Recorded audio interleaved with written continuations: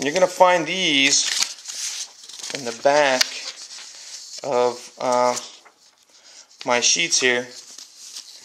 And you'll notice this guy here, which is pretty darn big. This is the, the variance of a portfolio. And he's fairly healthy long equation. See that? Yeah, that's that's a pretty good one there.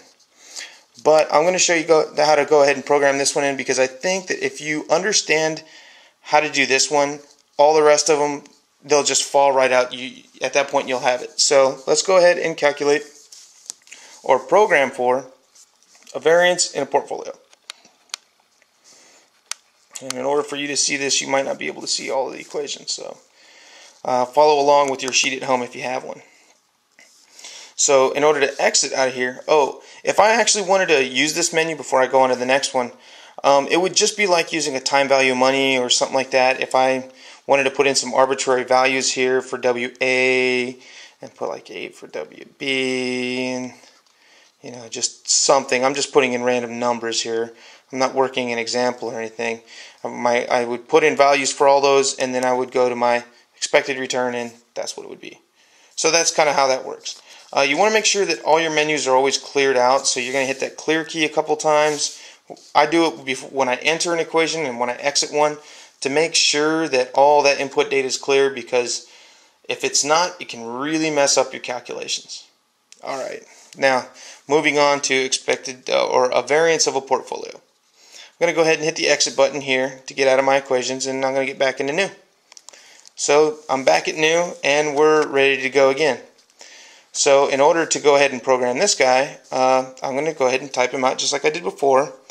And it's V A R, uh, let's see, P O R airport and F O. Uh, where is the L at? Okay, Veriport full equals. I'm going to find a W and an A. Now this caret that you're going to see up here on the page, okay, that means to the next to a something power. So whatever the numbers after that is to the power of. In this case, it's 2. And the way that I'm going to put that caret on my screen here is there's it's a two key kind of thing. You're going to have this key here, and you'll notice, and you can barely see it in the video, but you'll notice it underneath my times key, there's a Y to the X button there. So first I'm going to hit my blue key here, and then that one, and you'll notice that I have a caret on the screen. So that's how you get that. So, and then uh, I'll put in my 2 times, uh, let's see here, S, A, and again with my caret, so I'm going to come back down here get my caret like that. 2, and my parenthesis there, plus another parenthesis, 2, W, A, oh, and I had forgotten to go ahead and put in my times there, so I'm going to go back because I needed a multiplication symbol there. So I back it up and hit that. Oh, wrong spot. That's okay. We can correct that. There. 2 times WA. At the end of my equation. Times alpha W B times S A times S B times and this one's kind of a long variable because I wanted everybody to know what it was. I use CORAB or the correlation between A and B. We learned a little bit about that in our previous class. So C uh, O R A B.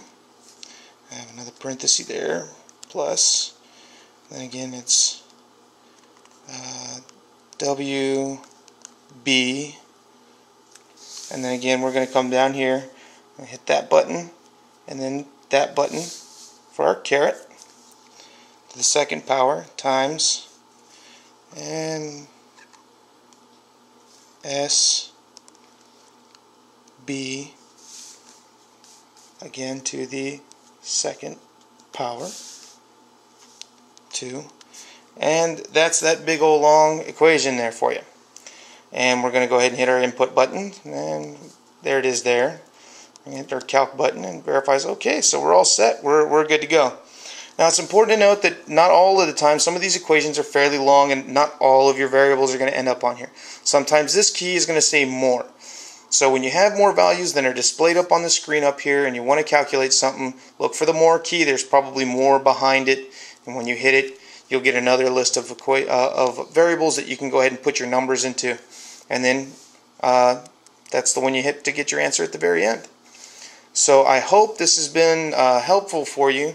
Uh, feel free to send me emails, notes, tips, tricks that you guys have found along the way. Uh, we'll try and get them posted if we can.